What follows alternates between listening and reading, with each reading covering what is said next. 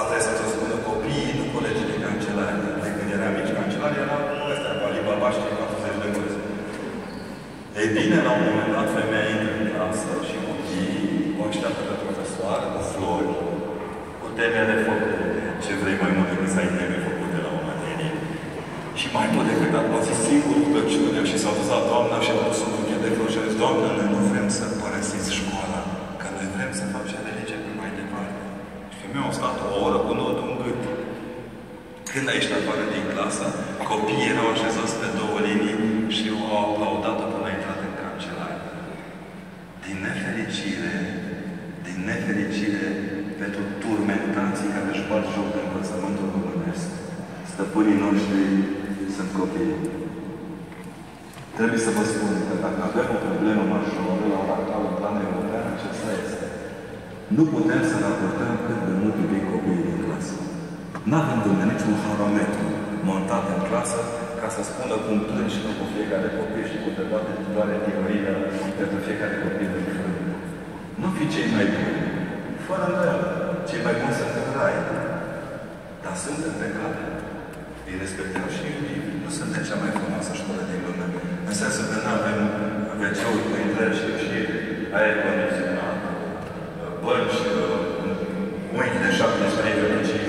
75 grade, geamuri de 14 de 16. Dacă în asta stă învățământul, nu vom fi buni niciodată. Ne avem geamurile mult mai mari. Pentru că ce băgăm de la bătaie sunt inimile noastre. Iar inima noastră este un geam. O fereastră de care Dumnezeu să uite la copiii pe care îi crește. Țin copiii nu pot fi de acord cu mine de totul. Eu mai am și pe coajă. Sunt momente când se plictisesc la școală, se plictisesc la la conferință cu ei. Dar vreau să vă spun că inclusiv din plictiseală lor învățăm mai mult decât dinamic, dinamic, dinamismul altora care dinamizează nepozitiv creșterea lor. Uh, Aș încheia aducându-vă aminte că de un an de zile, în ultima vreme, suntem conștienți și noi că există un atac foarte atent la școală. Eram foarte poeți până acum vreo 2 ani. Credeam că nu, nu, nu, nu o să ni se întâmple. I-am să spun, ba, da, ni se va întâmpla.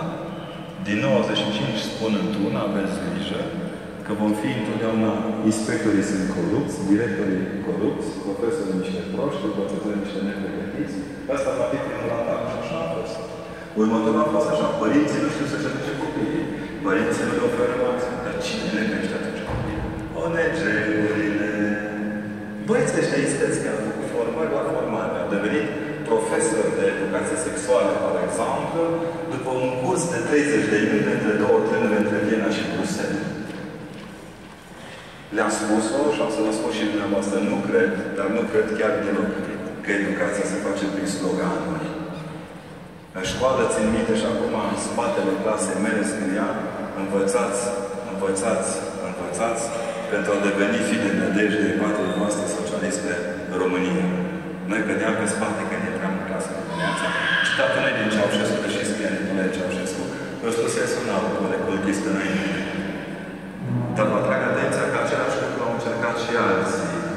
Se duce un popor în afara familiei sale, în afara structurii școlare și în afara bisericii. N-a ieșit decât un homo sovieticus șchiop. Nici măcar un om comunist român n-am avut. Am avut jumătăți de măsurătură și n-am fi proști. Noi n-am fost proști total niciodată. Cu atât mai mult acum trebuie să refuzați ca școală, ca profesor. Eu am obligația aceasta ca preot și ca părinte de copii. Refuz să-mi educe bordurile copiii. Refuz să-mi educe acoperișurile de interese și umbrelele de interese copiii. Am obligația fundamentală de a educa copilul pentru ceea ce vrea el, să fie om întreg.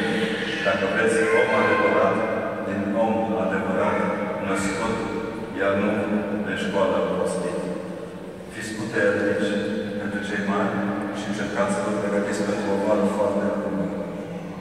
Este vacanța noastră de drept și de fapt și vă rog să vă odihniți, să învățați să ieșiți din criză. Avem nevoie pentru următorul anșuraș și următorii anșura de profesori și învățători care să știe ce au de făcut. Odihniți,